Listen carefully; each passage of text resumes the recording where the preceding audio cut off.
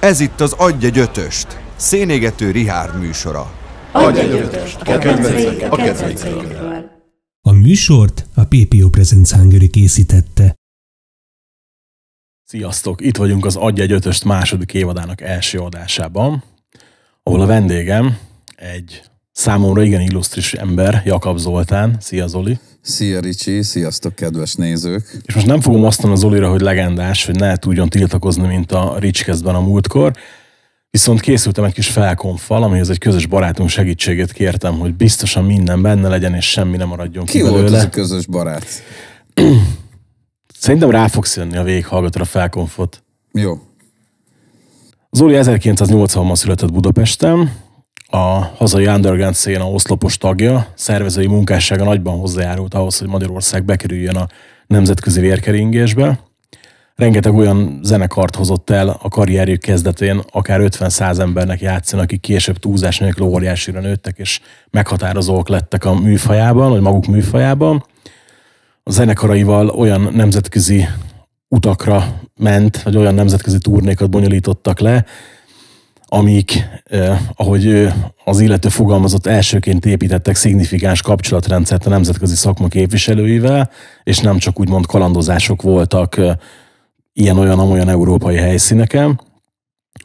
Ugyan főleg a hardcore szintér megerősítése és becsatornázása köszönhető neki többek között, ugye a 90-es évek közepétől ö, valamiért azt írt, hogy 2020-ig, akkor hagyta abban nagyjából a, a buli A szervezéseket. Nem? Musicot, igen, akkor Igen.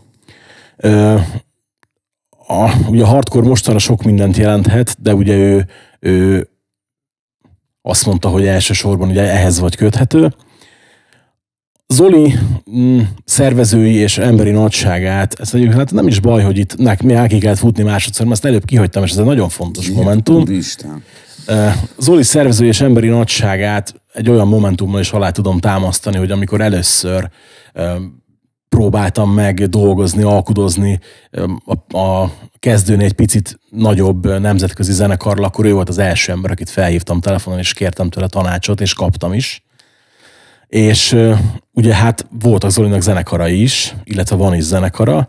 Volt a Burning Inside, a Newborn, a Bridge to Solace és a Ghost Chant, illetve jelenleg Solace Music néven lemezkiadója is van Zolinak. Így van. Ez lehet, hogy itt beszéltem erről először a Rich Igen, közben, hogy igen, van igen, ez. igen, Igen, igen, igen. igen. Ghost and Phantom zenekarként létezik, a Pristus lesz visszatérésre készül, amit állandóan el kell tolni, mert nem lett kész a Dürer kétszer. És most kész tök lesz? megbízhatatlan zenekar voltunk világéletünkben, és én attól féltem, hogy me- megint az, ez, még mindig megbízhatatlanok. De hogy de úgy néz ki, hogy igen, igen, úgyhogy szeptemberben fogunk találkozni. Ki volt ez a kedves barát? Valamire Bali Dávidra tippelek. Nem a Dávid, a Dávid volt a második gondolatom, az első gondolatom az a Fellegi Ádi volt. Jaj, egyen meg a szívét. És az Ádi nagyon azonnal persze. Elhatároztam, hogy a második évattól lesz egy ilyen helyzetbehozó felkonf mindenkinél, egy hosszabb, és mindig segítséget fogok kérni valami hozzá közel álló személytől. Mindegy, hogy mekkora emberről beszélünk, vagy mindegy, hogy milyen hírességről beszélünk, hogy azért általában, ha ilyen kérés érkezik valakihez, azt nem szokta visszautasítani. És itt Ádi is írtam neki, és percekkel később már vissza is jött a... Jaj, de drága. Picit kiegészítettem, picit hozzátettem, de Nagyon jó. Alig várom, hogy felkonferálsam Ádámot. Na, ö, ugye megbeszéltük előbb, hogy jó neked ez a, ez a menetrend, ahogy Így én van, itt felírtam. Úgyhogy- úgyhogy bele is csapunk a közepébe, és kezdünk egy olyannal, hogy Top 5 album. a top 5 albumnál, ugye ahogy mondtam az előbb, hogy nagyon jó ilyenkor így rádöbbenni arra, hogy egy-egy zenekar, aki már a műfaj alapkő és óriási jelentősége bír a zenekar, mint ugye a listádon elsőként szereplő Katarzis, valójában csak két nagy lemezt hagytak hátra, és hogy viszonylag rövid ideig működtek, és mégis mekkora lábnyomuk lett. Gondolom ezért is került ide a Samsara például. Hogyne, hogyne. De mind a kettő. Én ezt egyébként az, az a durva, hogy, hogy, hogy csalhattam is volna ezzel a listával, mert azért amikor ezt megírtam, de Hogyha majd megyünk tovább, akkor van egy másik zenekar a listán, aki, akivel ugyanígy csalhattam volna, mert hogy nálam ez nagyon szervesen a Samsara meg a Passion az, az uh, 97-es, 99-es albumok, hogy, hogy, hogy ez nálam mindig egy valami. Tehát ez egy zenekart két oldaláról mutat meg. Ö, nekem abszolút meghatározó volt. Tehát, hogy, hogy egy 94-től 2001-ig léteztek eredetileg, és utána ugye voltak visszatérések, meg lesznek is, mert 2013-ban turnéztek utoljára Európában, és most 2023-ban is megint fognak turnézni, és csináltam nekik egy rövidke tízállomásos turnét, és megyek is velük amit nagyon-nagyon várok. Egyébként csesztetem is őket állandóan, hogy nem akartok új lemezt csinálni, és egyébként szerintem talán még nyitottak is rá, de hát ez majd az idő megmondja. De hogy elképesztő lábnyomok volt. Azért nyilvánvalóan mindig vannak zenekarok, amelyek bizonyos közösségekbe, bizonyos városokba tök jól működnek, és valahogy a katarzis, az amikor 97 október 23-án megjelentek a szombathelyi végállomás színpadán, akkor az egy olyan katartikus élmény volt. és ez nagyon olcsó és rossz poén volt, de valójában tényleg, tehát, hogy no man is no man. Elképesztő energia volt abban a koncertbe, és, és valahogy ott ők megmutatták a, a hardcore punknak egy teljesen más ágát, teljesen más oldalát, mint ami addig ment, mert uh, itt azért megvoltak a szentehenei a magyar hardcore szintérnek, meg volt ugye ez az egész New Yorki vonal, természetesen ott volt a Black Flag, Minor Threat, Bad Brains vonal, de hogy jött egy ilyen alapvetően szélsőségesen metálos hangzású zenekar, és és mégis ízig-vérig hardcore volt, ahogy, ahogy a, a, a, a, magát, ahogy a közösséget tekintették. És, és szerintem nekik volt egy tök jó közösségépítő hatása. Mert talán az üzenet is ráhúzható, nem? A klasszikus hardcore értékekre. Rettetesen komoly, komoly emlékszel, hogy, volt az Emlékszel, hogy hogy találkoztál velük először? 97. október 23-án. Hogy előtte nem is ismerted a zenekart? Nem, de hát akkor nem, nem volt, vagy volt valamennyi internetünk, de hát, hogy így érted letölteni egy négy perces dalt, így izé ültél a betárcsázós előtt egy órákon át, hogy így lejön, megszakad, úgy, szétkapcsol. Úgy demonstráltam egy, egy fiatal barátomnak pár napja ezt, hogy mondom, úgy képzelj el az internetet 97-98-ba, hogy rajta volt a filmek moziplakátján egy ilyen hosszú URL, begépelte, de remélted, hogy nem basztál semmit, nyomtál egy entert, elmentél nyugodtan tusolni, ilyesmi, visszament, és akkor látod, már majdnem betöltött az Igen, oldal. igen, igen. Úgyhogy nem, nem ismertük, hát voltak, akkoriban már kezdtek így jönni fanzinek, meg volt, voltak, kezdtünk így lemezekhez hozzájutni, amikor így voltak koncertek, akkor mindig volt egy kis összekuporgatott pénzünk, hogy vegyünk egy kis lemezt. Egyébként ezért is választottam az egyik másik kategóriát, de hogy erről majd értekezzünk akkor, amikor a kategóriához érünk. És hogy, hogy azt mondták, hogy fú, figyeltek, ez valami brutális, kemény lesz, az a hír járja a katarzisról. És tényleg olyan volt, hogy így megjelentünk szombathelyen, a Burning Inside játszott előttük, és, és, és megjelentünk szombathelyen, és így áll öt ilyen rettetesen tagba szakadt, ilyen csórónak kinéző figura, akik nagyon kedvesek. És akkor emlékszem, hogy mindig kijöttek, akkor ilyen demókazettáink voltak, és akkor mindig adtunk nekik demókat. És emlékszem, a Matt a gitáros, így nyitotta ki a gitártáskát, hogy így alig vagyunk meg a beállással, és így, és így nézd meg, itt van egy csomó magyar zenekarnak a demója. És így valahogy ugye ez annyira megtetszett nekik ez az egész, hogy így ajándékoztunk mindenkit, mit tudom, United Side, Social Free Face, ezek a zenekarok uh-huh. ott voltak lenn szombathelyen. És, és akkor mi, mindenki hozta a kis saját portékáját, és akkor így, így nem izé volt, hogy most így rásozzuk, vagy eladjuk, hanem mindenki persze, tök jó, vigyék ki a hírét ennek az egésznek, és mindenki adott izét demókazettát, és emlékszem a Metnek a gitártokja volt, és akkor talán akkor basszusgitározott még a Matt, akkor még négyen voltak. És, és emlékszem, hogy a Matt kinyitott a gitártokját, és így ott álltak a, a, a magyar demók a gitártokba rakva, hogy mennyi ajándékot kapott, és hogy ez mennyire menő dolog. És, és ott egy, életre szóló barátság köttetett. Tehát még azt hiszem egy fenzénhez segítettem is fordítani, hogy egy interjút csináljunk a Brian-nel, azt nem is tudom, hogy megjelente, de hogy ez egy olyan interjú volt, amitől lehasaltunk, hogy így, úristen, milyen arc, meg mennyire jó egy ilyen, tudom, hogy filozófia szakot félbehagyó, félig hajléktalan, félőrült, aki így aki olyan félelmetesen intelligens, amilyen embert még nagyon ritkán láttunk, egy rettentesen olvasott, tanult arc. És akkor fogta magát ez a négy ember, és akkor fölmentek a színpadra, és akkor neki kezdtek a koncertnek. Tök jó, mert most így beleugrottam a koncert élménybe. Neki kezdtek a koncertnek, és akkor így dir. És emlékszem, hogy egy ilyen első fél percben így az a zenei tudás, ami ebben benne volt, meg az a színpadi előadásmód, mindenki így tátott szájjal állt, földbe gyökerezett lába a 300 ember, és mindenki elkezdte iszonyatosan csépelni a másikat a koncertterembe. És fantasztikus élmény volt, ez volt nekem az első találkozás, és megvettem a Samsarát CD-n.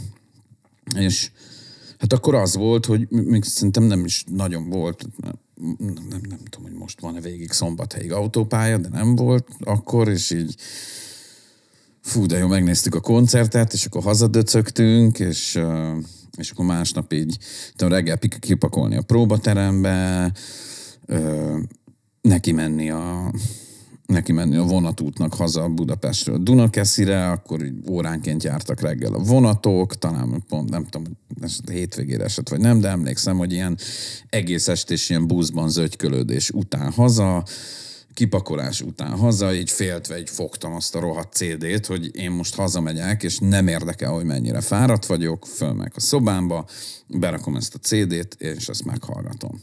És így lestem a szövegkönyvet. Hm és elképesztő élmény volt meghallgatni a szamszarát. Annyira sötét, annyira tühös, annyira elkeseredett, annyira eszenciája volt akkor 17 évesen, ahogy éreztem magamat, és, és ez a lemez az abszolút visszaadta azt, ahogy éreztem magamat. Azt a, azt a tühöt, azt az elkeseredettséget, azt, hogy nem feltétlenül találtam a helyem a társadalomban annyira, meg nem voltam annyira nagyon boldog meg, meg akkoriban tök magányosnak éreztem magam, és ez, ez egy abszolút szócsöve volt annak, ahogy én éreztem magamat. És örök szerelem lett a koncert, és örök szerelem lett ez a lemez. Tehát ez, ez, ez a kettő, és én mindig ezt a Samsara passion ezt, ezt én így egy, egynek szoktam általában tekinteni. Passion az a 99-es lemez, akkor már tudtuk, hogy jön vissza a Katarzis turnézni, azt hiszem már 98-ban is csináltunk nekik egy bulit, és akkor 99-ben tudtuk, hogy lesz Katarzis, akkor már volt Newborn, és meg volt beszélve, hogy egy 5-6 bulit nyomhatunk velük. És emlékszem, hogy kimentünk, egy 8-9 fős társasággal kiautóztunk Arnhembe, Hollandiába, mert volt a Main Strike nevű straight egy hardcore zenekar, és a haverjaim meg akarták nézni.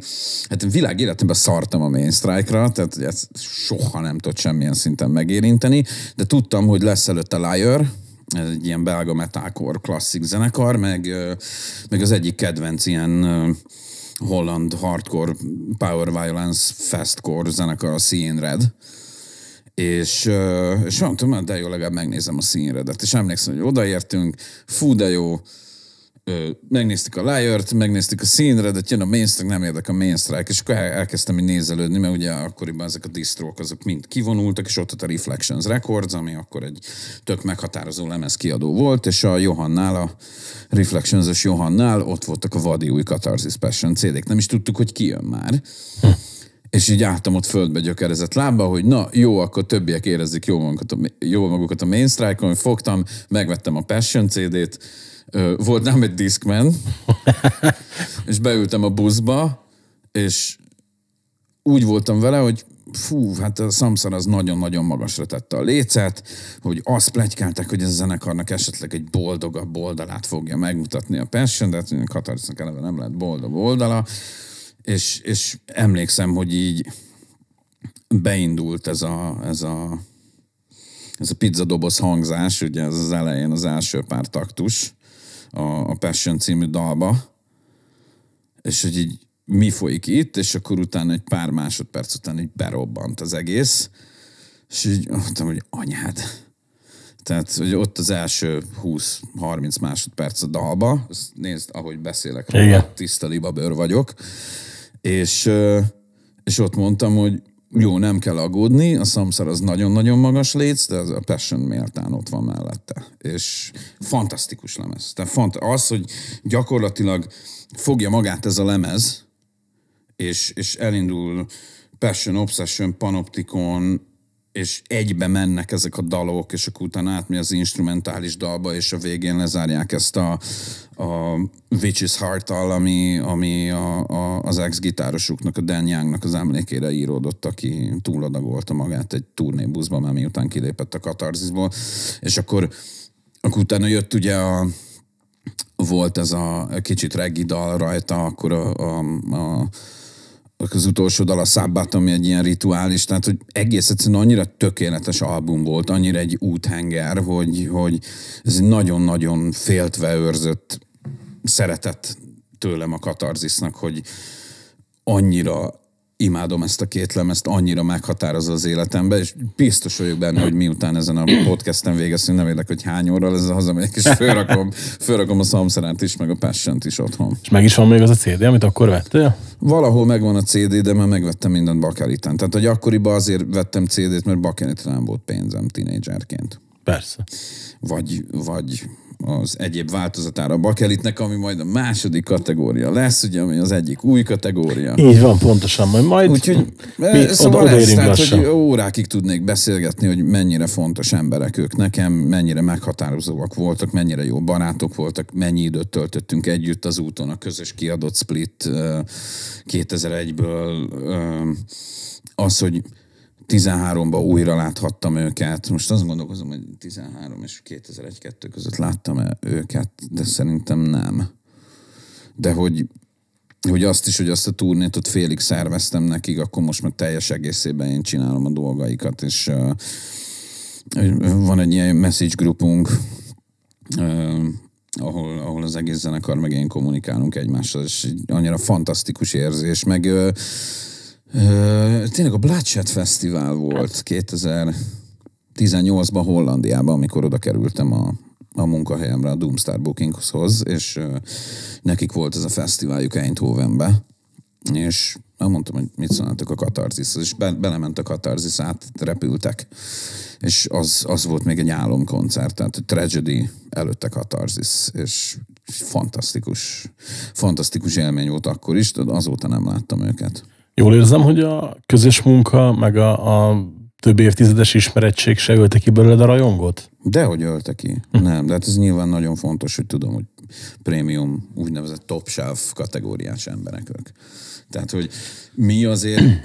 Jó, Brian-nel elég nehéz kapcsolatban lenni, ha csak nem e-mailezel neki, aztán kiderült, hogy van telefonja már, úgyhogy, úgyhogy azóta tudunk egymásnak írogatni, de hogy mit tudom, az Alexivel mindig fölhívjuk egymás szülinapokon, meg ilyeneken, meg a, a bőgős az őrni, ilyen random föl szokott hívni, neki van egy ilyen családi vállalkozása, autószerelő műhelye. Uh-huh és, és, és néha ilyen random módon fölhív, hogy így mi van, vagy így egyszer fölhívott, hogy nézd a kert végébe ott a tornádó, sietek befele, és az, hogy mit csinálsz? Meg uh, volt, volt régen egy ilyen poén, hogy hát ugye meg magyarok vagyunk, uh, Dracula, ugye mindenki köti. Magyarország, és mindig volt egy ilyen Drakulás poén, és emlékszem, hogy tudom, hogy egy játékboltba, vagy egy benzinkúton, de láttam ilyen foszforeszkáló Dracula fogokat, amit megvettem az őrnének ajándékba. És, és, és ez rendesen mindig így levisz, így facetime-ozunk, és akkor levisz a menkévbe, ahol így ott van az összes ilyen zenei cucca, meg íz, és nézd, itt van kirakva Dracula fog, még mindig bontatlanul. Tehát, hogy ennyire, ennyire közös ez, ennyire nagy a kötődés. Nagy dolgok ezek azért. Igen. És következőnek meg van egy trial. Hát szerintem az elég egyértelmű volt, hogy rajta lesz. Az mindenképpen. Greg Bennick az ugyanúgy egy ilyen top shelf kategóriásban. Azon mondjuk meglepődtem, hogy az utolsó. Azt hittem az első lesz. Mi? Trial. A harmadik. Hát az- azóta nincsen új, nem? Hogy mi? Azóta nincs új, nem? Ja, hogy az a trial lemez az utolsó. Igen. Ja, azt hittem, hogy a listámon az Nem, utolsó. nem, nem, nem, nem, nem, nem, nem, nem. Szerintem az Art These Our Lives az a, az definiálja azt, hogy milyen az, amikor valakinek annyi agya van, meg esze, meg intelligenciája, hogy megírjon egy brutális konceptlemezt a hardcore szintéren. Ahol. De azért a Trial is egy ilyen sötétebb hangzású, ami adódik abból, hogy ugye Seattle zenekar. Mindig is egy kicsit sötétebb hangzású, de egy fasz a straight egy zenekar volt, az Our These Our Lives szerintem egy új, új dimenziót nyitott. Ti is le kellett hagyjak egy csomó kurva jó zenekart, akinek még méltán lenne itt helye. Most azért megnézve. Hát igen, csak a top 5 nem lehet top 10, meg 20. De nem lehet top 10, meg Igen. top 20, meg top Így is a, a következő kategóriába hatot írtál amúgy, ha megnézed. Melyikbe? Szerintem, nem? Nem, ötöt. Ó, akkor én, én néztem be Nem, valamit. nem, ötöt. Mindenhol kín- kínosan ügyelve ötöt írtam. Szóval Trial Art These Our Lives, az egy, az egy meghatározó lemez, és a Greg az ugyanúgy egy meghatározó ember ebbe. Tehát a Art These Our Lives-on az Alexi dobol például a katarzisból. Na, azt nem is tudtam. Jesus Al Pecador művész néven. és hát az is egy abszolút olyan velük is a zenekart már ismertem, és meg, megjött ez a lemez, mert akkor csináltam egy koncertet nekik, és megkaptam promóba az Art These Our Lives CD-n. És hú, az le, levitte a fejemet. Tehát ez a klasszikus, nyilván a Reflections című dal, az, az tök meghatározott, hogy bejön a bombasztikus, ugye izé, komoly zenei intro, és akkor utána, utána az a két lábgépes nyitás, az tényleg olyan, hogy arra egy, mindenki darál mindenkit mindig. Ö, tök sajnálom, hogy nem született több trial lemez, azután pedig ők is néha így összeálltak, meg, meg, meg jártak erre. De, de ez, ez, ez egy rettetesen meghatározó valami a hardcore történelmében nekem legalábbis, meg, meg, meg tényleg olyan emberek, tehát Greg rendesen, tehát édesanyám az amerikai fiának hívja, a Greg édesanyámat az európai édesanyjának, egyszer Greg szülei, voltak egy ilyen közép-kelet-európai körúton, és csináltak egy Prága-Bécs-Budapest utat, és külön kérésük volt, hogy szeretnének a, a szüleimmel ebédelni. És akkor elmentünk közösen ebédelni a, a Greg édesanyja, édesapja, meg édesanyám, édesapám. Ez azt hiszem, hogy 2016-ban volt, és van is róla egy tök csodálatos fotó. És, és ez egy hatalmas élmény volt. Tehát emlékszem, hogy Greg az teljesen elérzékenyült, amikor elküldtük neki. Tehát ugye 2005, amikor volt a Reunion a Multiplexbe, azóta a Greg akárhányszor Magyarországon van, ő mindig így neki kitétele, hogy akkor megyünk az édesanyádhoz, meg édesapádhoz Dunakeszire. Anya, édesanyámnak van ez a, van egy hamis húsleves, amit már csak Greg levesnek hív, ugye Greg is vegán, és, és emlékszem, hogy így mindig megvannak ezek a, ezek a körök, amit a Gregnek kötelező megenni, és hogyha egy, nap tud jönni, akkor egy nap végig eszi. Ezt, mindig kell legyen paprikás krumplit, mindig kell legyen lecsót, mindig, mindig kell legyen lepcsánykát, mindig kell legyen Greg levest, és így volt egyszer egy olyan, hogy, hogy itt tudom én, fölébredtünk édesanyáméknál, és akkor lementünk reggelizni, és akkor így tudom, már három órát reggelizett a Greg, és akkor utána egy a reggeli egy, egy, egy ilyen ebédbe torkolott. Úgyhogy itt, itt is azért nagyon erős a, a, a személyes kapcsolat, és Greggel is nagyon sűrűn beszélünk a mai napig. Hát a következő még nem lepődtem meg. Ugye a Chromex, a chromex nem, nem, Chromex, Age of Quarrel. Igen, azt el is vártam volna, úgyhogy rajta legyen, megmondom őszintén. Persze, de hát az nekem a, az, az, az egy ilyen definitív lemez volt. De Tényleg most így végig gondolok a saját históriámon, meg az, hogy kihez kötődök, és például lehet, hogy egy Ignite lemeznek is lett volna a helye a Call on My Brothersnek például itt, de én, és én tök imádom az Agnostic Frontot, nagyon szeretem a Sycophytolt, nagyon szeretem a Madbolt, iszonyat sokat adott nekem ez a New York hardcore vonal, mert kezdő hardkorosként mindenki ez, de hogy a, a Chromex Age of Quarrel dühe, az, az a nyers, az, az a dalírás, azok a riffek, az, ami egy metálos, de mégse. Igen, Az- talán ez, ez. Szenzációs. És Chromex volt olyan dolog nekem, hogy emlékszem, édesapámmal voltam valamiért Németországban, és vettem egy német metal hammert, és uh, Alfa Omega volt, és álltak ott az a zenekar fotó, hogy így izé, tudod, szétvart John Joseph atlétában, meg hogy így, fú, hú, bazd meg, ezektől félek. és, és azt mondtam, hogy akitől félek, azt azonnal meg akarom tudni, hogy mi, mert valami szenzációs lehet, és akkor elkezdtem megismerni. Utána kutattam, ugye akkor Chromex az re- relatív elérhetőbb zenekar volt. És én imádom a Best Wishes-t is, ugye most pont Best Wishes póló van rajtam, nagyon szeretem az Age of Quarrel-t, de hogy vagy a na, Alpha Omega-t, bocsánat, Igen. de hogy az Age of Quarrel az Age of Quarrel. Tehát ez tényleg az olyan, hogy így úthenger. Kösz, Tök- tök- tök érdekes Jöttünk, amúgy. láttunk, győztünk. Ez, amit mondasz, hogy az, akit, akit félsz, ezt meg, akitől félsz, ezt meg akarod hallgatni. Nekem annó így lett szerelem a Biohazard. 14 évesek voltunk, Zene TV, és jött a, a Selloutnak a klipje. Mm-hmm. No, bazdmeg, ezek mennyire zűrös arcok már. Jó volt a zene is, hát így ott jártam utána Pesten, bementem a CD pincébe, megvettem a CD-t, és így Mikor voltál 14? 2001-be. Ok. Hát ak- akkor jött ki Civilization. Igen.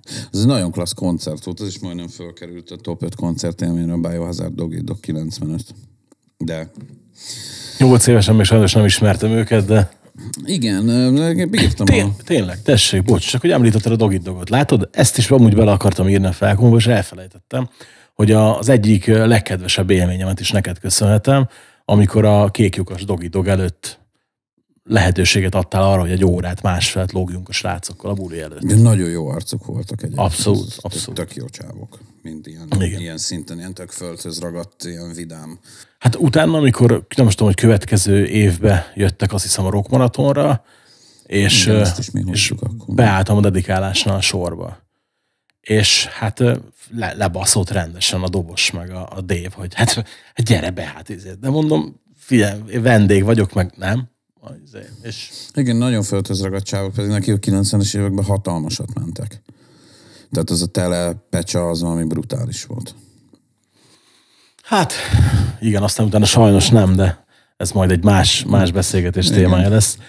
Na figyelj, viszont az ötödik lemez az, annak ellenére, hogy nem kéne meglepőnek legyen, mert egy nagyon alapzenekarról beszélünk, meglepett, hogy felkerült ide, mert az egy picit kilóg a sorba, az a Bad Religion No ki. Controlja. Nem lóg ki? Figyelj, nem megnézed azt, hogy én szeretem azt, amikor a zenében van egy intelligens üzenet, akkor ki lehetne intelligensebb Greg Graffinnél. Ez jó, ez igaz, ezt elfogadom. No Control meg a Suffer az is egy olyan közös entitásként kezelem, mint a Samsara Passion 2-st, mert hogy azt én fölvettem egy kazetta AB oldalára, és akkor Walkmanbe bemenet suliba izé volt, No Control, hazafele Suffer. És nagyon szerettem mindegyiket, No Control-t, az, az nagyon, az kurva jó lemez. Hát figyelj, ez volt a negyedik lemez, azt hiszem. És, emlékszem, igen.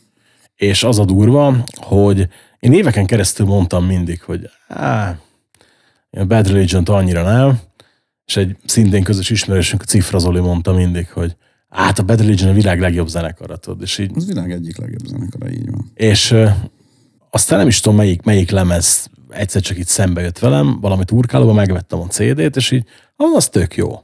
Ó, ez is tök jó. És azt vettem, hogy igazából mindegyik lemez tök jó. És így, Nagyon jó, persze, tudod, ez is olyan egy kicsit, hogy nyilván ugye volt nekik az a kanyar a pályafutásukban, amikor Journey akartak lenni, és elmentek az Into the Unknown izébe, irányba, és az, azért az egy ilyen csúfos kudarc volt nekik, de hogy azt leszámítva, ők annyira hoznak egy tök jó standardet Hát, folyamatosan, ö, ami nyilvánvalóan egy idő után tudod olyan, hogy mondjuk így ismersz egy Motorheadet, nagyjából ismered az összeset, ismersz egy Ramones lemezt, ismered az összeset ismersz egy Bad Religion-t, ismered az összeset, de hogy nekem ez egy nagyon-nagyon meghatározó, nagyon-nagyon nyers lemez, és nem is tudom, egyszer talán a parkban volt egy olyan Bad Religion, amikor valami iszonyat no controlra épülő szettet nyomtak, és én voltam a legboldogabb gyerek a világon, és ez a színpad szélről. Annyira, nagyon szeretem. És mit tudom én, Refuse Shape of Punk to Come. Ez egy szerintem egy korszakalkotó lemez volt. Lehet bármit gondolni a Refused-ról 2023-ban, 1998-ban az egy meghatározó lemez volt, és például nem fért föl. Ezt szoktam csalni, tényleg a Catharsis Samsara Passion egynek veszem, és föltolom rá a Refused-ot még, de hogy teljesen mindegy, most nem menjünk top 6-ba. Persze. De hogy hogy annyira meghatározó volt az a No Control, meg olyan bomba jó dalok vannak rajta, meg annyira telibe van találva, és akkor ezt még csak a hardcore punk gyökereimet néztem, és nem mentem bele abba, hogy a metálba mondjuk milyen több, top 5 lemez volt nekem. Alig, hogy kibeszélnénk. Mi a top 5 metálba? Tű, most ki jó kibaszol velem. Jó, oké, figyelj, gondolkodj rajta. Nagyon addig... figyelj, metalikák, slayerek, bor, borzasztó Seasons in the Abyss, szerintem világ egyik legjobb metal lemeze. Én nagyon-nagyon szerettem a Fekete albumig bezárólag imádtam a Metallica munkásságát. Ride the Lightning talán most így, hogyha így belegondolok, hogy az nekem egy ilyen óriási kedvenc. Tehát egy ilyen tök alap dolgok van egy, egy csomó általában azért mind az ilyen extrémebb oldalon. De erre mondom erről egy külön adás, és ezen azért a top 5 albumon általában annyira nem szoktam gondolkozni, vagy hát, hogy azért ez nekem az életemben fix, de most így azért külön le kéne üljek legalább egy fél napot agyalni, hogy akkor top 5 metal ez, hogy melyik korszakból, mikor, hogy miért. Oké, okay, hogy... figyelj, akkor majd egy, csináljunk egy külön kiadást majd csak annak a kategóriának egyszer. Jó. Na, és akkor most itt elkezdünk egy új kategóriát, amit először nem értettem, amikor az Oli mondta, hogy figyelj, az, az annak így kell lennie, és ugye azért nem értettem, mert hát most... Top 5 7 incses IP. Miért? Na de, amikor az Oli átküldte a listákat nekem, és meghallgattam ezeket az LP-ket, akkor jöttem rá igazán, hogy miért került ide. Mert hogy ha neked a hardcore gyökereidről beszélünk, ami ugye veled kapcsolatban mindenképpen a legfontosabb tényező, akkor ezek tényleg definit, definitív dolgok, és nem csak a maguk az anyagok, hanem hogy ezek a, az összeállítások, vagy ezek a rövid kinyilatkoztatások tényleg magát a műfajt is demonstrálják. Ez így van. És ugye beszéltünk arról, hogy régen vagy CD-t vettem, vagy, vagy 7 incses kislemezt. Azért, mert egyszerűen nem volt, nem volt másra pénz. Meg a zenekaroknak se volt másra pénze. Ma már egyáltalán nem gazdaságos 7 incses csinálni, mert Hát ugyanannyiba kerül, mint a nagy lemez konkrétan. Hát majd, hogy nem ugyanannyiba kerül, és kapsz négy dalt. Na de akkor. Figyelj, ezzel, ezt, ezt írtam is neked, amikor átküldtem, hogy ezek konkrétan vért izzadtam, de itt megpróbáltam azért belemenni olyanba, ami szerintem meglep téged is, vagy, vagy van benne olyan, mutat igen. neked. Hát figyelj, van olyan konkrétan, amit megmondom, ezt én nem ismertem. És, és hát itt ugye az első a listán a Shy Hulud kislemez, a Profound Hatred of Man, amit egy newborn próba után hallgattunk a szalkai kocsiába kazettán, és azt mondtuk, hogy hú, bazd meg, ez ugyanolyan, mint amilyen, amit mi játszunk. Szélvész gyors, kiabálós ének, iszonyat dallamos gitárok, és az a, az a három az a három dal, az letaglózott. Ráadásul én nekem van egy ilyen bakancs listám, amit egy kicsit kiélhettem 2016 májusában. A Sájhuludról tudni kell, hogy azért ott úgy jönnek, mennek a tagok, mint semmilyen másik zenekarban. És, és a Matt Fox ugye a Sájhulud, a gitáros. Megjelentem a saját szervezésemen, így beestem délután, és Zoli, figyelj, az új énekesünk nem tudja For the World-öt, mit szólnál, hogyha te nyomod? És így mondtam, hogy jó, oké, hát újra kéne tanuljam a szöveget. És semmi gond, semmi gond, akkor este nyomod.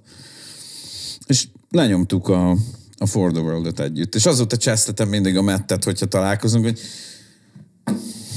haver, figyelj már, tehát, hogy minek fizetsz repjegyet egy amerikainak? Mondom, itt vagyok, úgyse turnéztok sokat, beszállok, nyomjunk, tök jó lesz. Ezért, tehát, hogy ez nekem valahol egy ilyen egy, egy ilyen bakancslistás ez, ez iszonyat meghatározó, nem? Ez a Hearts Once Nourished with Hope and Compassion az, az eszenciája a, a dallamos, tűhös hardcore ami egy amire ráépült egy csomó zenekar a 2000-es évek közepétől, akik szerintem fele annyira izgalmasak, és fele annyira nem tudtak lekötni. De hogy annyira meghatározó volt ez, nekem, hogy szerintem ők azért egy ilyen, és nem, nem jutott nekik az a pályafutás, ami szerintem illet volna.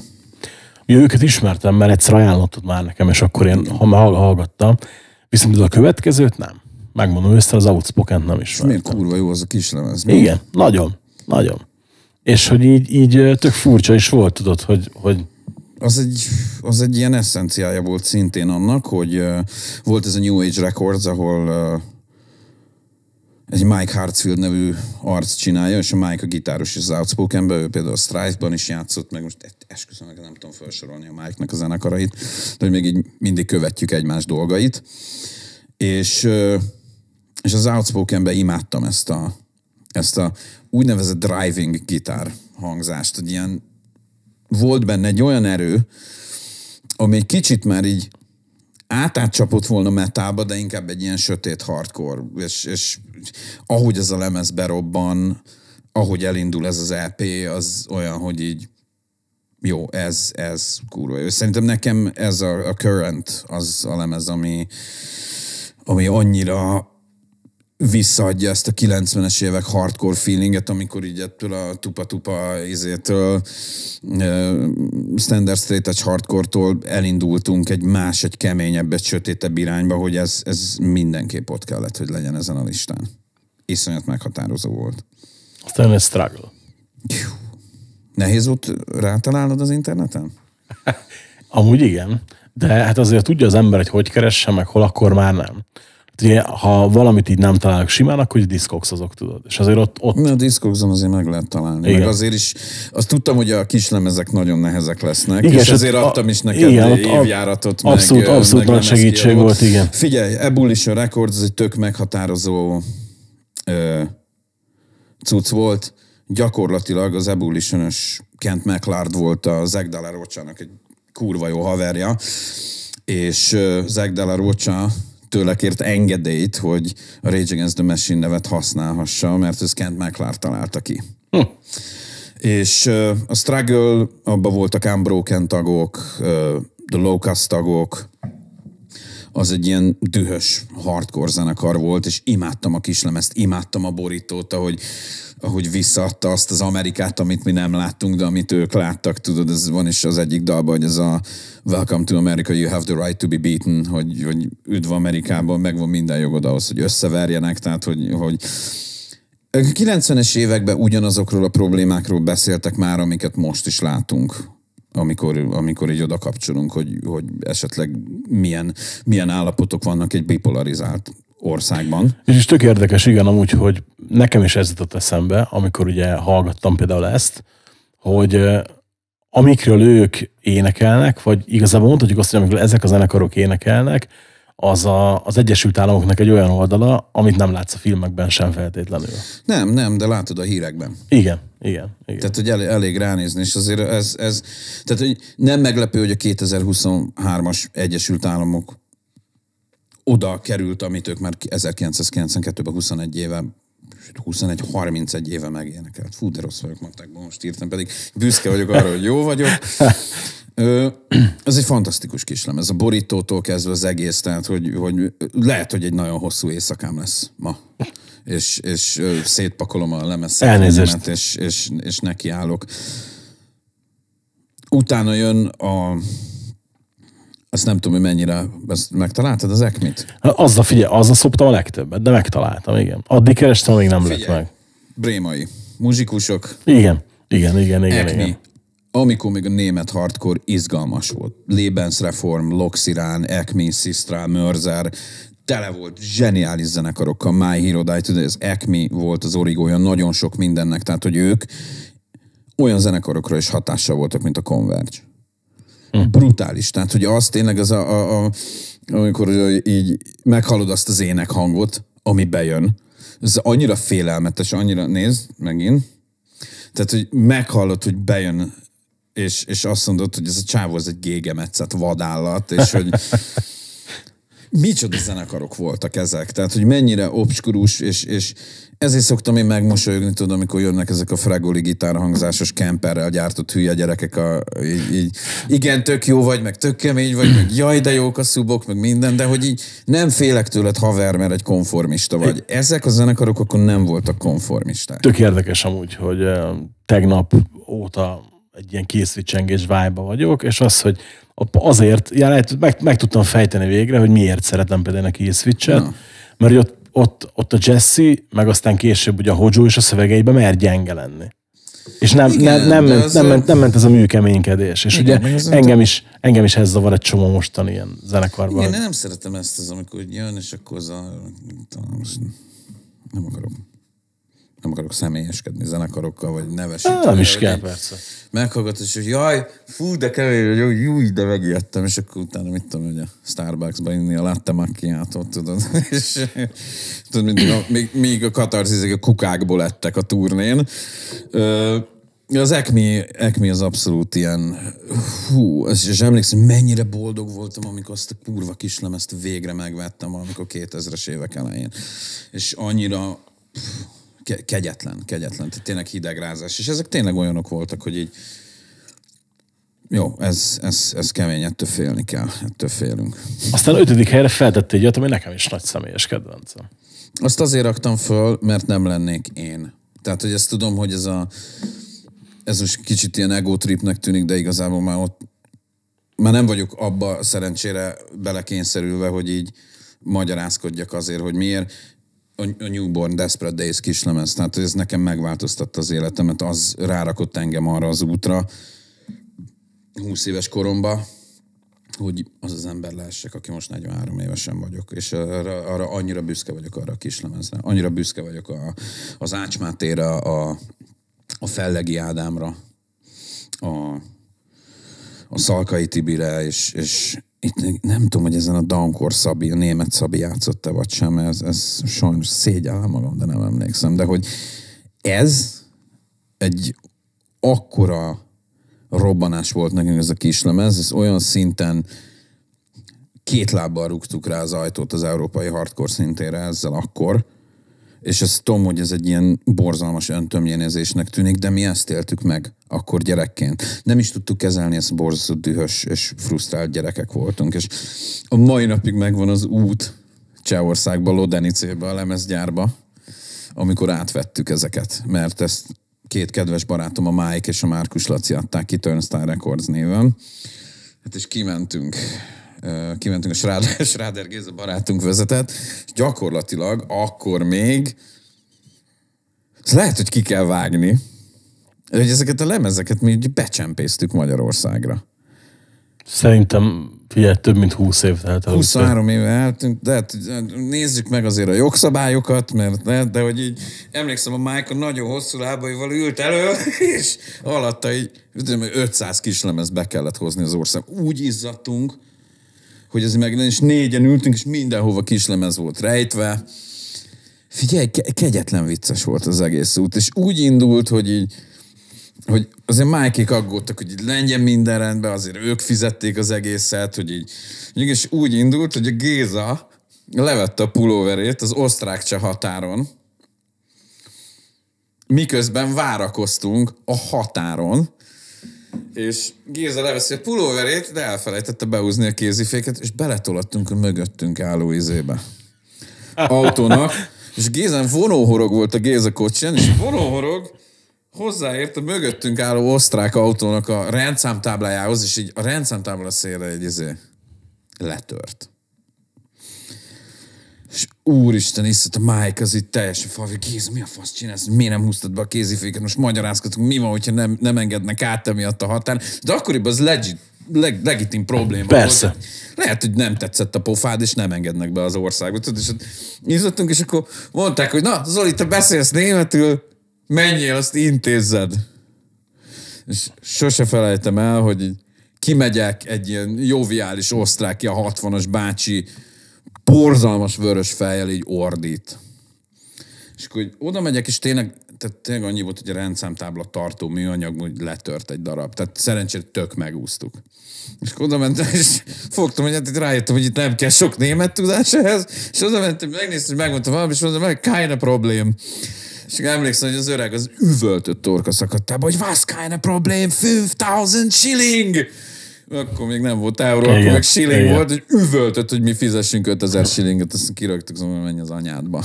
És akkor végül bejutottunk bejutottunk Csehországba, úgyhogy az, ez, egy, ez egy nagyon kalandos út volt. Hát remélem, hogy nem, nem lesz a cenzúra áldozata. Nagyon remélem. Vagy végig sípoljuk, mint az A38 a Betonhofi koncertet. Fú, szánalmas.hu. Aztán pedig egy megszokott, már megszokott kategória, viszont régen volt. Top 5 koncertélmény. Az egyiket, azt, a harmadikat, azt ki is vehetjük, Igen. mert elmondtam, hogy a Katarzis 97. Igen. október 23-án Szombathely végállomás mekkora buli volt. Vissza kell tekerni az első kategóriához, és ott meg lehet hallgatni. Úgy. Ez így van. Ö, hát figyelj, a- a Slayer Machine Head-en ugye azért se lepődtem meg, mert az, az tehát az a Machine Headnek az volt az aranykor, nem? Hát akkor még a Head egy kezdőzenekar volt. Igen. Tehát első, azt hiszem az első Európa turné, olimpiai csarnok, Chromax-től a Hard Times-al zártak, Rob Flynn meghozta az üveghangot, a Burn My Eyes például biztos benne lenne a topba. Igen? Na, persze, óriási, tök jó. volt. És utána meg láthattam a Slayer-t, álltam ott, én kisgyerekként így, hú, az meg mi volt ez, emlékszem, ilyen id- idősebb ismerőseimmel mentünk, ö, Józsa Zolival a Sedative Bankből, és akkor át is megyünk a másodikra. Józsa Zoli mondta, hogy hát tudod, nekünk is van a zenekarom, a Sedative Bang, az ilyen hardcore zenekar, és hogy játszunk a nyugati totálkárba, és 94 decemberében elmentem életem első hardcore koncertjére, ahol egy olyan közösség fogadott, minden hibájával együtt, hogy egy életre megváltoztatott. Érdekes amúgy, hogy csak így, amikor előkerült a totálkár, akkor mosolyogtam, mert egy hét elején meg ugye teljesen ilyen 90-es évek magyar roll-jába voltam, uh-huh. és így egy privát beszélgetésekben, kommentekbe előkerültek ilyen régi szórakozóak, és valaki ott is mondta, hogy ú, totálkár, de jó volt az. Nagyon. Hát és akkor figyelj, itt igazából mondjuk az a trial se lepett meg, hogy egy trial is előkerül Nem, a... ott a Cultiplexben 2005-ben, amikor nagy nehezen így rábeszéltük a trial hogy figyelj, legyen már megint trial. És akkor mondták, hogy lesz trial, és akkor kitaláltuk, hogy akkor legyen Budapest, de hogy olcsóbb legyen, akkor csináltunk egy Londont, és ez egy fantasztikus buli volt. Trial, Undying volt, H Street talán. Lehet, hogy volt Black Friday 29, Sunrise, lengyel vegan metalcore, Bristus lesz, és még volt szerintem talán a Fallen Into Ashes, tehát ez egy, ez egy legendás koncert volt, tehát hogy az, az volt az, ami így akkori koncertszervezői munkásságom egy legbüszkébb estéje volt. Hát az meg elhoztuk a trialt. Másodszor is úgy, hogy figyelj, akkoriban a reunionok nem voltak ilyen általános dolgok, hogy tudod, hogy most így hát most valaki kap elég pénzt, az előbb-utóbb csak lett Misfits is, érted? Persze. De hogy tehát ez, ez egy olyan, olyan fantasztikus érzés volt. És, és látni újra ezeket a barátokat, egy olyan zenekart, akit azt hitted, hogy nem láttál, és vagy nem fogsz látni többet, és 99-ben volt egy fantasztikus trial koncert a budapesti Jailhouse-ban, amit majdnem beraktam ide, de úgy voltam vele, hogy ez olyan különös helyet foglal az életembe, hogy ezt be kell rakni. És ez megint egy igazságtalan dolog, mert nagyon-nagyon sok olyan koncert volt, ami méltán kerülhetett volna ide, akár olyan is, amit én játszottam. De oka volt annak, hogy, hogy, hogy ez itt van, ez egy, ez egy úgynevezett no-brainer. A következő egyszerre volt meglepő, de ugyanakkor nem. hogy Ez egy Oransi Pazazú koncert. Tudom, hogy nagyon szereted, meg tudom, hogy neked ez egy nagyon fontos formáció, meg ugye az egész jelenség meg, meg nagyon őszintén fontos. dolgozom is nekik. Igen, tehát persze, oké, okay, tudom. Ugye engem is te szoktattál rá, meg nekem is te mutattad még, még nagyon-nagyon az elején szerintem, de akkor lehet, hogy nem is dolgoztatok még akkor talán együtt. De az lepett meg, hogy 2022 május. Ez egy ennyire friss élmény. Azért, és azért akart, ez direkt volt, az élmény.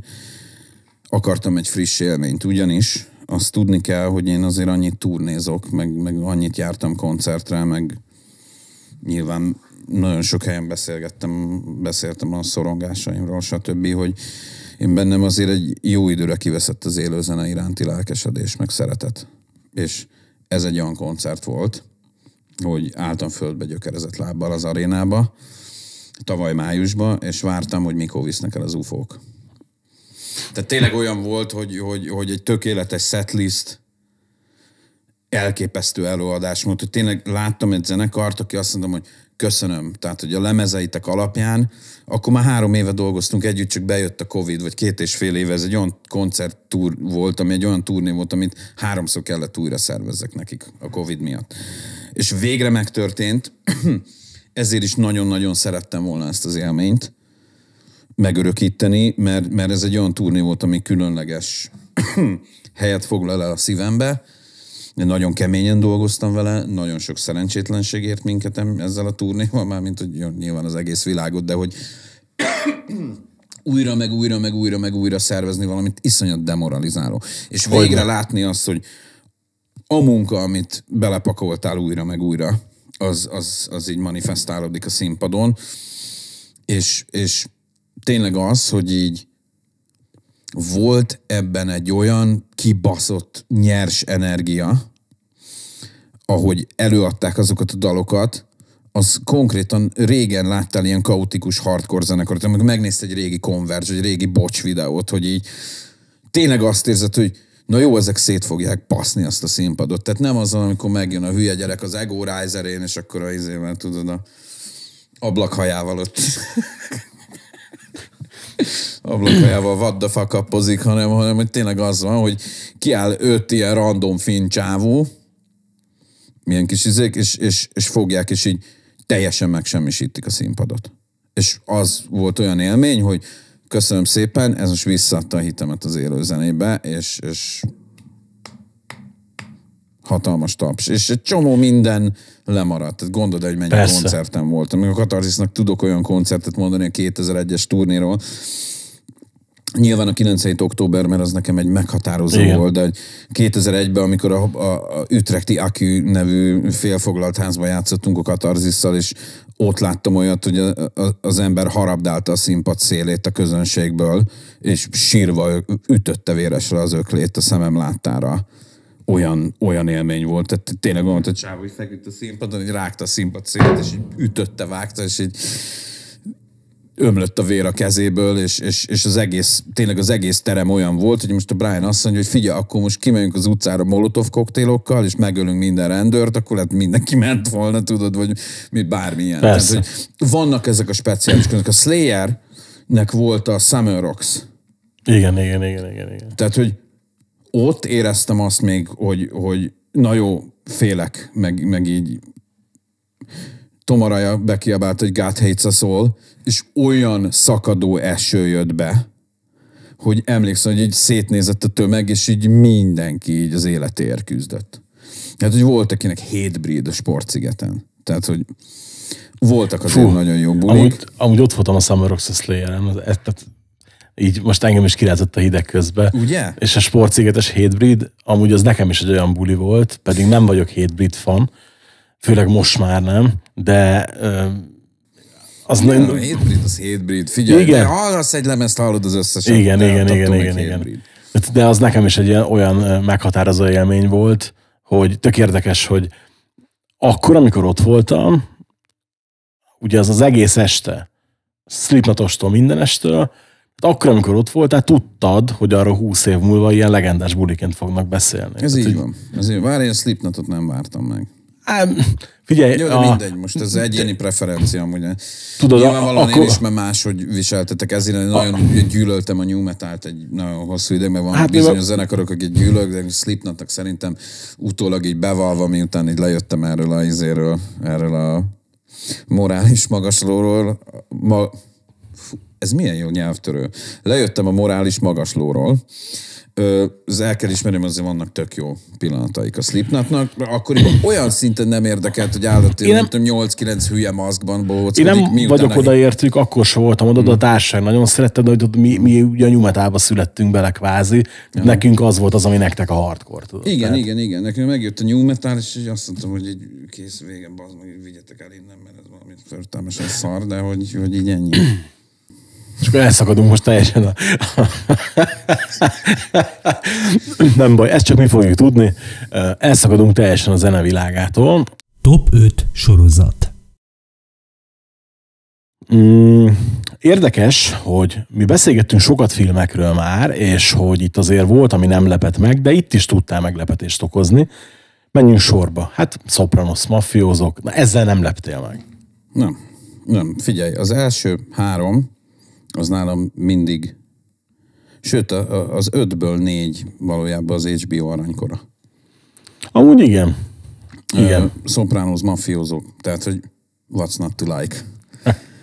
Tehát annyira, annyira teli találat az egész. Egyébként most pont gondolkozom, most ez, ez is egy nagyon nehéz dolog volt, mert azért vannak olyan dolgok, amik nagyon közel állnak hozzám, tehát, hogy van is az a pszichológiai oldala a sorozatok újranézésének, hogy egyszerűen kell egy ilyen mm, karakterek, akikhez ragaszkodsz, aki, és, és ezzel ki tudod kapcsolni az agyadat, amikor egy elég stresszes periódusban, egyébként egy jó barátok újranézésben vagyok. Jaj, igen. Most tartok a nyolcadik évadnál. De Most fejeztük be nemrég. hogy, hogyha azt kell, hogy mondjam, hogy mi volt az, ami engem nekem meghatározó volt, és az a durva, ezt ki is akartam emelni, és pont az imént gondolkoztam ezen, hogy a sorozat, ami engem berántott sorozat rajongónak, az nem került fel a listára, és azért, mert tudom, hogy sokan úgy vannak, hogy igen, az a sorozat az olyan, hogy, hogy ö, azt húzzák, halasszák, meg, meg, meg hogy így nyilván ki kell fogyasztói igényeket is szolgálni, hogyha nézik, akkor rétes tészta, stb. Lost. Ja, na figyelj, tök érdekes, mert hogy beléptem a streaming világába, én, aki Mhm. világéletemben elleneztem, és ugye hát ott Disney Plus, amiben fönt van. És mondom útkor, hogy á, fáradtak voltunk ma este, szinkronos, akkor megnézzünk, megnézzünk egy részt. Jó, szinkronos. Annól én csak az első két évadot láttam, és utána valamiért a harmadik pár, első pár része után el- elmaradt. Megvettem DVD-n, föltettem a polcra, de nem néztük meg. Mm. És tök érdekes, most elkezdtük nézni, és azt vettem, hogy hopp, vége. És így, így rákérdeztek, hogy szerintem tök jó. Én, én baromira szeretem. Kurva szar. De meg kell, hogy mondjam, hogy iszonyat, hatalmas az alapsztori. Igen. Hatalmas az az egész. És én, én nekem utána egy ilyen fejetlen katyvasz fasságnak tűnt. De annyira fölbasz rendesen a Lost, hogy mindjárt 300 lesz a vérnyomásom, hogy elindult egy tök jó sztori, és én igen értem, hogy, hogy alakítani kell mindig útközben, meg ez, ez állandó régen, hogy a sorozat junkin is mindig volt egy ilyen ez egy állandó ilyen kardinális kérdés volt, hogy de én meg akkor is szeretem azt, hogyha van koncepció, meg azt, hogyha van tudatosság. Tehát ugyanúgy például a trónok harca labdában nem rúghat. Ja, ez sem. Labdában nem rúghat. Tehát, hogy egy akkora, akkora seggfej, blödli, ostoba hülyéknek a kiszolgálása lett az a szar. Úgyhogy mennyire jól kezdődött. Negy, negyedik évadig néztük, Itt de van koncepció. Itt volt végi és koncepció. most, és amikor újra néztem, akkor fejtettem meg, hogy nekem valószínűleg miért tetszett először, de ez az kellett, hogy én is kérjek szakemberi segítséget. És melyik volt az, amit te újra néztél? A most a mafiózókat is Ja, mondom, mafióz, figyelj, az- Igen. Hogy, hogy, amikor én is kértem, hogy én is elmentem Dili Dokihoz, és mondta, hogy baszki, mekkora dolog, hogy egy ilyen sorozatba beraknak egy ilyet, és ugye így segít, nem segítenek benne, hogy Bizony. te se érezd magad amúgy szarul ettől. Persze, fantasztikus. Figyelj, annyira nem, nem is tudom, hogy, hogy de mennyire zseniás, mennyire megviselt, amikor meghalt a Gandolfini.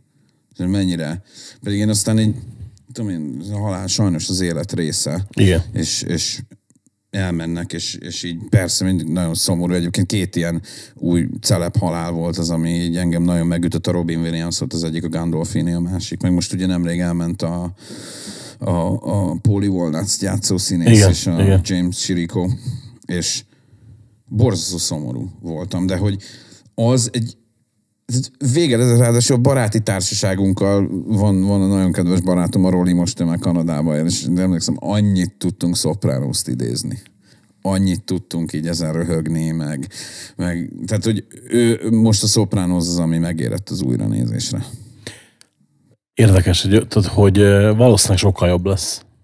Én így jártam most. E, egyszer Egyébként elkezdtem. Sokszor már újra néztem. Én, én, tehát én megnéztem kétszer, akkor Mhm. egyszer elkezdtem, és akkor állandóan nem, nem öregedett jól. És most valamiért úgy volt, á, megnézem újra. Jó, És- egyébként érdekes, hogy lehet, hogy beszéljünk utána erről, hogy Jó. hogy, hogy látom, hogy mennyire öregedett. Jó, mert szerintem, hogy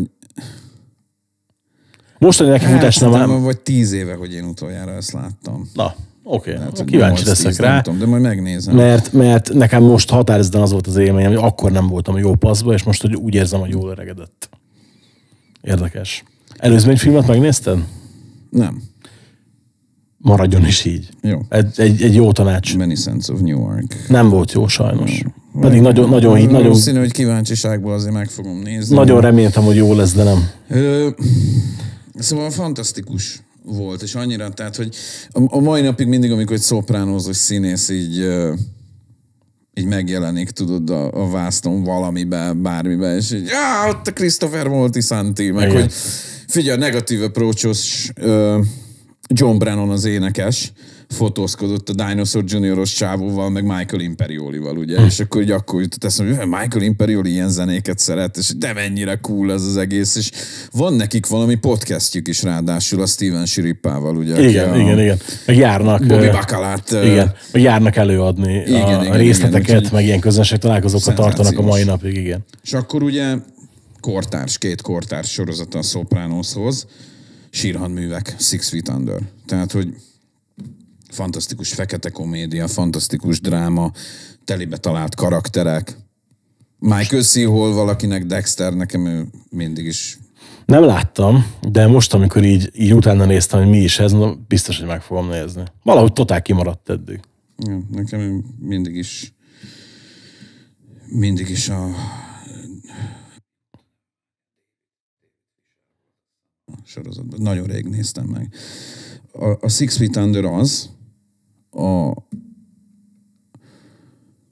tehát, hogy ez egy annyira ilyen emberi, de mégis egy ilyen, de ez a fekete komédia, mert azért ez egy nagyon rárakja a halálkultúrát az emberre, Igen. hogy, hogy mennyire próbálunk tagadásban élni, és ez szenzációs sorozat volt. És ott, tehát, hogy nyilván már mindenki lett, most nem fog semmi olyat lelőni, de azt mondom, hogy ennek a sorozatnak van egy olyan vége,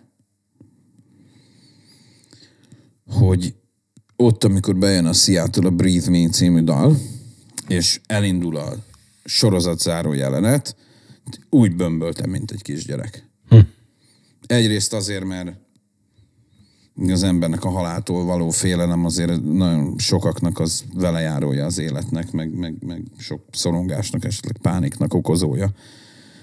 Azért, mert ezt így az arcodba rakta, másrészt azért, mert gyönyörű a befejezése. Tehát, hogy szerintem az, az, az, az örök, örök top kategória, ahogy ezt az egészet befejezték. Fa, szenzációs, fantasztikus. Tehát figyelj, ajánlom mindenkinek, ez is újra nézésre kell menjen.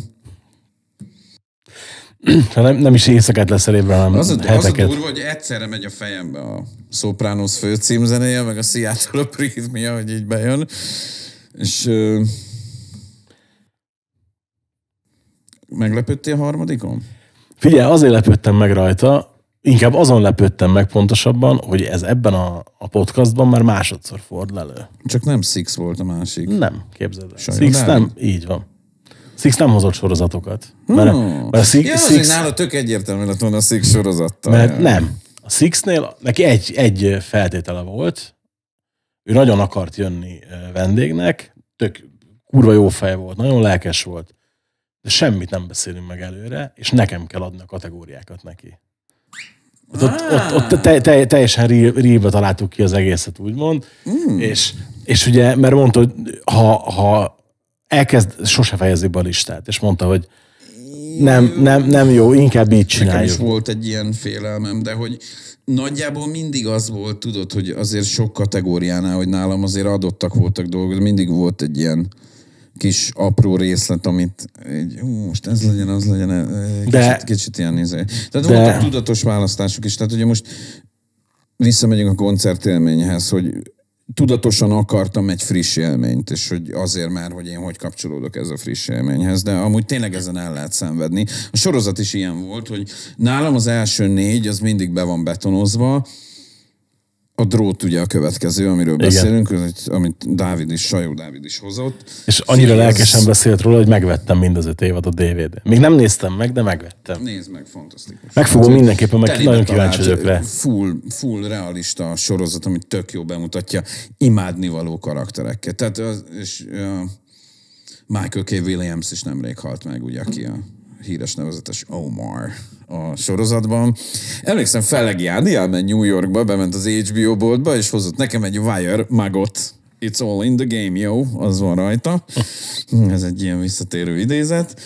És uh, Figyelj, ez szenzációs. Tehát, hogy tök telibe van találva, tök realista az egész. Ugye ezt egy bű, azt hiszem, jól emlékszem, bűnügyi újságíró volt a Faszi, aki, Igen. aki, aki csinálta, és szenzációs. Tehát annyira, annyira jó, annyira, annyira emberi, annyira lassú.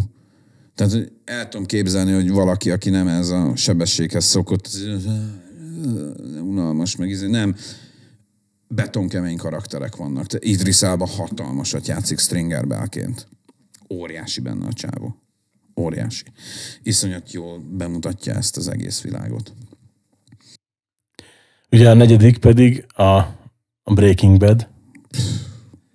Figyelj, ez, a, ez az a sorozat, amiből egy másodpercet nem láttam, és mindig így tiltakozok, mikor valaki mondja, mert hogy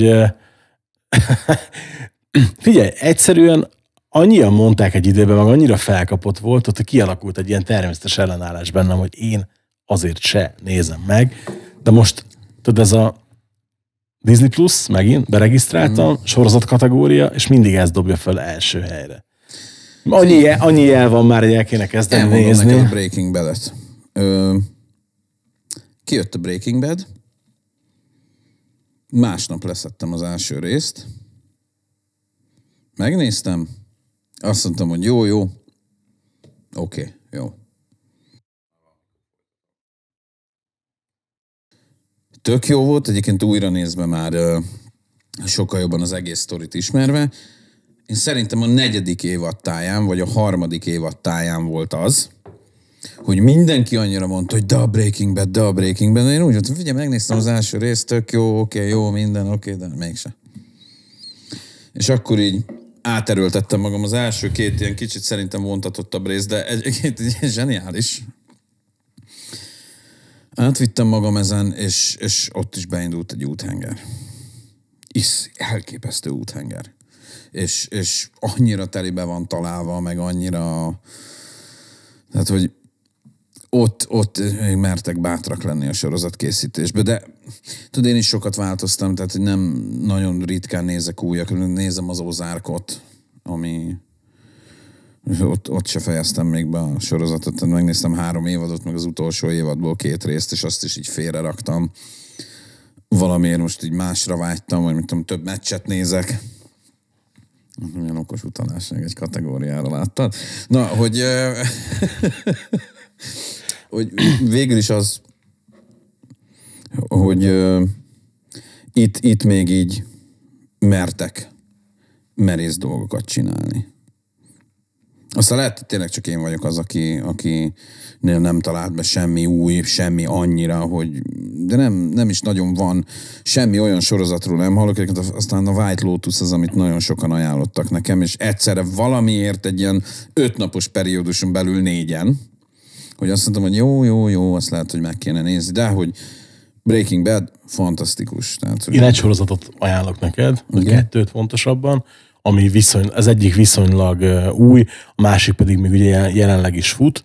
Az egyik a Black Sails, fekete vitorlák, az Mhm. nekem, nekem maximálisan, hát annyira érted, hogy ide tetováltattam a logót, meg minden okay. szírszar. ez kalózos ügy, ez már jó, Igen, igen, igen, igen. Nem, négy évad, kész, vége. Ah, négy évad, jó. le, le, van zárva, kerek egész, tökéletes. másik meg Yellowstone. Arról nagyon sok jót hallottam. Figyelj, én akkor kezdtem el nézni a Yellowstone, amikor itthon még nem ismerte senki. Ez Kevin Costner. Így van. Talán? Igen, mert nekem a Costner nagyon nagy favoritom. És ö, tetszett, hogy ez a ilyen, ilyen posztmodern Dallas felütése van, meg eleve ez a, ez a montanai hegyvidék, az nekem ilyen szerelemtájék. Ha valahova költöznék, akkor oda. És annyira beszippantott a sorozat, az első évad az még, az, az fura lehet, mm. mert ott azt mondta a Taylor Sheridan, hogy minden sallangot kivág belőle, és néha túl gyorsan történnek az események. Mm. De a második évattól ott olyan szinten meg van találva az egyensúly, hogy az nekem Ah. Ez egy olyan egyébként a Yellowstone, ami szembe jött, mint minőség velem, tehát hogy hallottam, hogy nagyon sokan fölhozzák, de hogy ezt senki nem ajánlotta még, most te ajánlottam. Én mindenkit térítek évek óta. Jó van. Szóval Breaking Bad, amit továbbra is támogatom azt, hogy ezt elkezd nézni. Nagyon nehéz volt egy uh, itt döntsek, mert az Office nagyon erős nálam, az amerikai Office. És ez többszöri újranézés után mint a jó bor. Abban láttam már pár részt, és az abszolút, Szenzációs. abszolút tetszett. De a félig üres az a Curb Your Enthusiasm, ami Larry David sorozata, Larry David írta a Seinfeldet Jerry Seinfelddel. Ö, Ez egy improv, gyakorlatilag megvan, hogy minek kell történjen a sztoriba, tehát hogy olyan szinten van egy forgatókönyv, hogy ez a rész erre épül föl, de minden párbeszéd improvizált benne. És annyira határfeszegető, annyira brutálisan tahó, de közben annyira hétköznapi, hogy ki lehetne belőle emelni sok mindent, most hirtelen így annyi minden jár a fejembe, hogy nem tudom, hogy mi az, amit kiemeljek belőle, de ez, amikor tényleg így ülsz a tévé előtt, és így marod le a saját arcodat, hogy ezt nem hiszem el, hogy ezt meglépte. és vannak benne tök hétköznapi dolgok, mint például, hogy elmész mondjuk kajálni, és veszel szalvétet, de minek veszel túl sok szalvétet? És emlékszem, hogy így elment egy koreai étterembe kajálni, az egyik részben, és tudom, hogy hárommal több szalvétát vett el, mint illet volna, és ráhívták a rendőröket. Tehát, hogy ilyen tök apró hétköznapi dolgok, amik embereket esetleg zavarnak, vagy tudat alatt zavarnak, vagy így megállapítani, fasznak lesz annyi szalvétát, hogy utána izé, csak feleslegesen termeld a szemetet. Mit volt egy ilyen rész, a stop and chat, hogy mennyiszer van az, tudod, hogy így mész az utcán, és így nem egy jó barátoddal találkozó, hanem ami 72. ismerőse, tudod, és akkor hogy mész, mész, és akkor hogy hello, hello, de nem meg kell állni ez a stop and chat, hogy megállsz, és, és emlékszem, hogy egy egész ilyen rész épült erre a stop and chatre, hogy valaki megsértődött rá, mert nem akarta megállni vele beszélgetni, és hogy annyi, annyi ilyen tök hétköznapi dolog van, de közben annyi, annyira, annyira vakmerő a csávó, meg annyira hülye, hogy szenzációs. Imádom. Imádom. Ez az egyik, egyik kedvenc is. Én nagyon bírtam a Seinfeldet is, de hogy ez, ez, ez vakmerő. És mindenkibe beleáll. Akibe bele lehet állni, mindenkibe beleáll.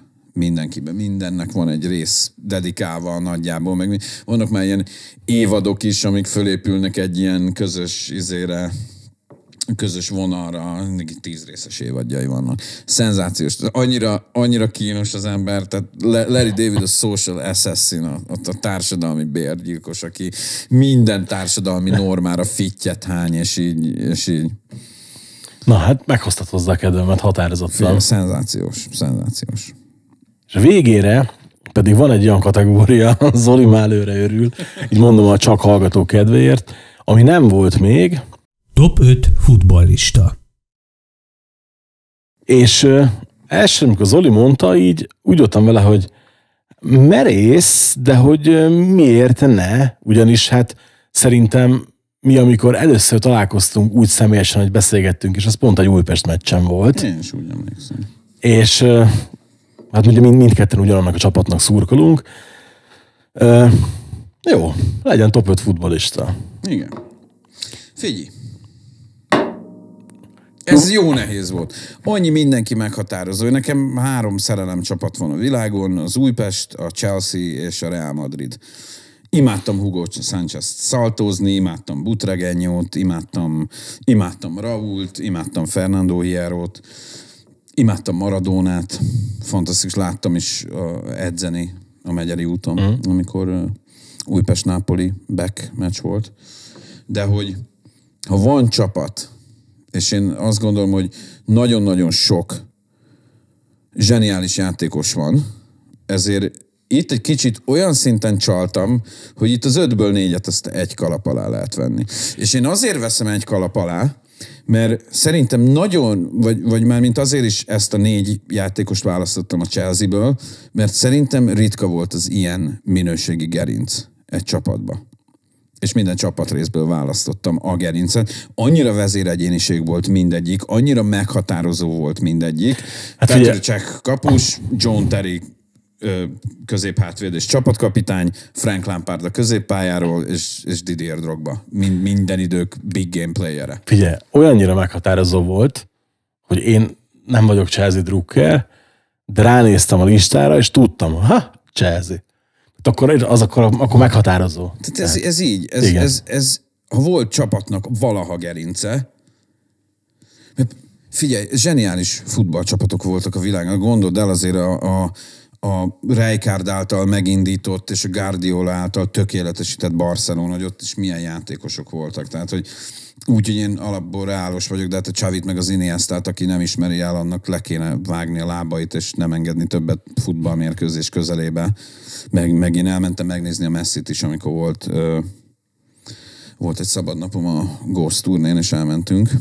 Jó sokan egy ö, Barcelona-Majorka meccsre Barcelona, és fantasztikus élmény volt az is, de hogy ha volt valaha minőségi, egymásért harcoló igazi csapat, akik azért a Chelsea-nél állandó probléma volt, tudod, hogy mindig játékos uralom volt, és akkor néha egy-egy menedzser megbukott, de hogy amikor kellett, ezek a játékosok, ezek így odaálltak, és, és, és adtak az egész csapatnak egy olyan morált, olyan szintű, tehát gondold el, hogy John Terry az egyik legelegánsabb, az egyik legjobb testtartású középső védő volt, akinek az eleganciája szerintem ö, szinte páratlan. Ö, micsoda csapatkapitány az, akit egy, azt hiszem, hogy Liga vagy FA kupa döntő volt, szerintem FA kupa döntő volt, amikor egy ö, Hú, nem, nem ugrik be a srácnak a neve, egy arzenál játékos iszonyatosan fejbe rúgta, de úgy fejbe rúgta John Terry-t, hogy mentő vitte el. Maga tehetetlen volt a John Terry. Lecserélték, és a kupa átadásra, miután a Chelsea megnyerte, már ott volt, és, és, és ott volt Lampard, akiben mindenki beleállt, aki mindenki csak Harry Redknapp ugye Harry Redknapp volt azt hiszem a nagybáty, igen, a nagybátyja Harry Redknapp, és akkor bekerült ugye a West Ham Unitedbe, és a mai napig van ez a videó felvétel, ezt nézd meg a Youtube-on, amikor egy szurkolói ankéton így kiültetik a Harry Redknappnek, meg a Frank Lampardot, és ott egy fiatal Lampard, és, és így belállnak a Harry Redknappbe, hogy, hogy, hogy mit képzel, hogy játszhatod ezt a fiatal tehetséget, hogy mit látsz ebbe. És erre egy a Harry Redknapp mondja, hogy itt van, ez a, itt van ez a fiú, és hogy ez így minden idők egyik legjobb futbalistája lesz. Tehát, hogy higgy nekem. És átment a Chelsea-be, és, és történelmet írt az arc. Hogy talált meg téged a Chelsea? Hulit Vialli.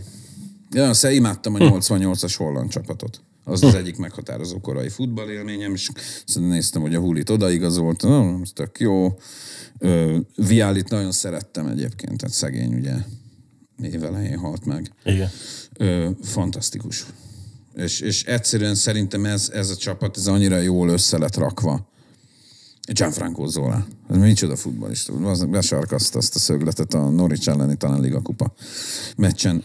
Fontos, tehát, hogy az, ahogy fölálltak a Bayern München ellen a 2012-es döntő 91. perciben, ahol ráadásul John Terry ugye az eltiltás miatt nem is játszott, és a Lampard volt a csapatkapitány. Tehát amikor már minden veszve volt. És Petr Cseh fantasztikus kapus és volt neki egy hatalmas mélyrepülése, amikor a csehek miatt estek ki az EB-ről, és visszaküzdötte magát iszonyat keményen a világ egyik legjobb kapusával. És amit, amit azon a BL döntőn csinált, az a mai napig, amikor visszanézem azokat a felvételeket, így libabőr. És hát azért végére csak ide került egy magyar játékos is. Természetesen ide került egy magyar játékos. Itt rettenetesen gondolkoztam, hogy melyik Újpest játékos legyen. Gondolkoztam Eszenyi Dénesre, gondolkoztam Szlezák Zolira, a klubhűség mint a példánya volt, mintakép. Gondolkoztam Bácsi Sanyira, gondol, gondoltam Bácsi Sanyira, de az az ember, aki, aki szinte lábújhegyen játszotta a futballt, és én azt hittem, hogy nyolcszoros, de te javítottál ki, Igen, háromszoros, háromszoros magyar válogatott, válogatott volt. Meglepett. Weber Gyuri. Igen. Tehát, hogy figyelj, imádtam a Gyuri játékot, és sajnos ott voltam, amikor széttörték a karrierjét, meg a lábát. Tehát ott voltam azon a meccsen, a, a, a, a, a, hentes tornyinak, a hentes Diós Győre, amikor, amikor szilánkosra törték a lábát. És, és azt én premier plánba végignéztem a stadionba, és emlékszem azt a dühöt, meg azt az elkeseredettséget, meg utána azt az egészet megnézni tévén. Mert kim voltam, és utána tudod visszanézni ezt az egészet, de nem akarom ugye er, emiatt emlékezzünk a Gyurira. Persze, Gyuri egy persze. szenzációs játékos volt, meg hát egy iszonyat nagy dumás, érted? Egy igazi... Barom jó Mind- karakter, igen. Minden ízében magyar futball karakter. Tehát, hogy a Gyuriba aztán benne van a 90-es évek magyar futballja, na de tudott futballozni. Látott a pályán, oda rakta a labdát, amikor oda akarta rakni, nagyon oda rakta, és nekem, nekem meghatározott, a Szlezi is egy olyan, a Szlezák Zoli, hogy, hogy őt, ő, ő volt még nagyon-nagyon esélyes, hogy melyik legyen a kettő közül, mert nekem meg mindig számít. Tehát, hogy az, ami a John Terry a Chelsea-nek, az a Szlezák Zoli az Újpestnek. A, legalábbis az én generációmnak, ugye nekem, amikor így nagyon sokat jártam Újpest meccsre, akkor ő volt a CK. Gondold el, hogy most meg eljutottunk oda, hogy lassan azt tudod, ki a csapatkapitány. Igen. Zoli, Ricsi, nagyon, nagyon szépen köszönöm, hogy nagyon eljöttél. szívesen, nagyon örültem a meghívásnak. És a, a két új kategóriát is köszi, mert hogy végre sport is volt ebbe az adásban. Mert bármennyire nem úgy nézek ki, szeretem a sportokat. Egyenlőre még csak nézni, de majd hamarosan már valószínűleg művelni is. Köszönöm szépen, hogy megnéztetek. Tartsatok velünk a következő hónapban is. Ha valaki szeretné követni Zoli zenei munkásságát, akkor a leírásban megtalálja ehhez a linkeket, illetve minden máshoz is ott van a leírásban minden. Köszönöm szépen még egyszer, hogy itt voltatok velünk. Sziasztok! Ez volt az Adj egy ötöst. Tartsatok velünk legközelebb is. Adj egy ötöst a kedvenceinkről. A műsort a PPO Presents Hungary készítette.